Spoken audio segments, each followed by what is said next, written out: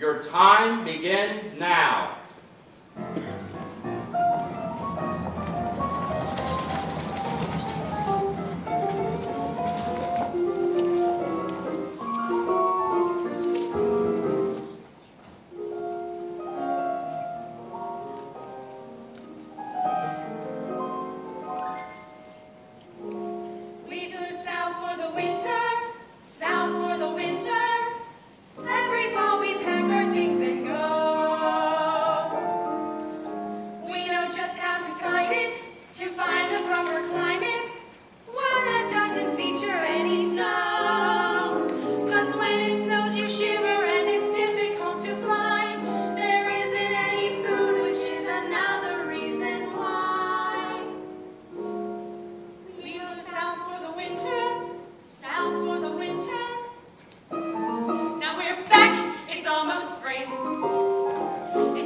Weather's lovely.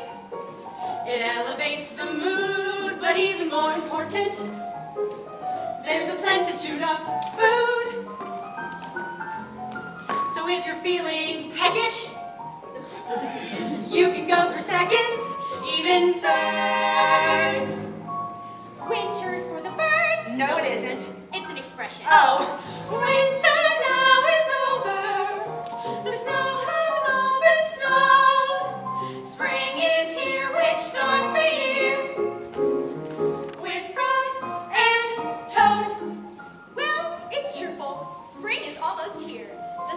be shining, the flowers will be growing, and the birds will be chirping. Chirp, chirpity, chirp. Over here we have Frog, and over here we have Toad. They are both at the end of a winter-long hibernation. Let's take a peek in and see what they are dreaming about.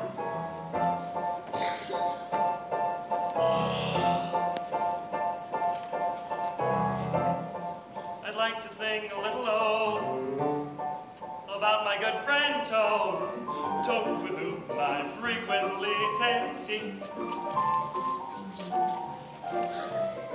He's not so good at sports, and of course he's got those warts, but Toad has been a lovely friend to me. Toad, I feel, is vastly underrated, and furthermore, I think misunderstood. But in conclusion, I will add he is the finest friend of all the critters in the neighborhood. I love a lively dialogue with my good friend Frog, chatting over cozy cups of tea. He knows just the thing to say that will brighten up my day. Oh, Frog has been a lovely friend. Frog is very kindly in his nature, magnanimous whenever playing host. Of all the creatures in my sphere of influence, I'm fondest of a frog most.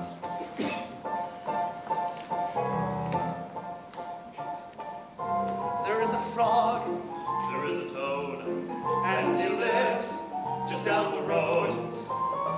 There could be no better friend for me. For me, it seems,